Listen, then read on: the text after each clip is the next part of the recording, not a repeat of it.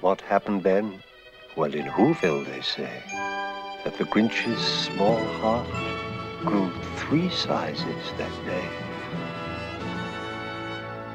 And then the true meaning of Christmas came through, and the Grinch found the strength of ten Grinches, plus two.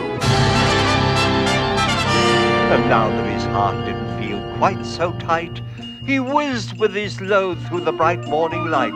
With a smile in his soul, he descended Mount Crumpit, cheerily blowing hoo-hoo on his trumpet.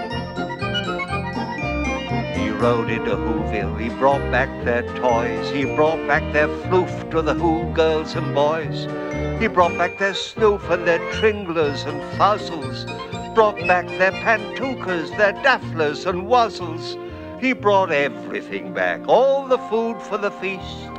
And he, he himself, the Grinch, carved the roast beast. Welcome, Christmas. Bring your cheer.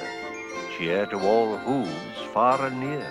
Christmas Day is in our grasp, so long as we have hands to clasp. Christmas Day will always be just as long as we have we. Welcome Christmas while we stand, heart to heart hand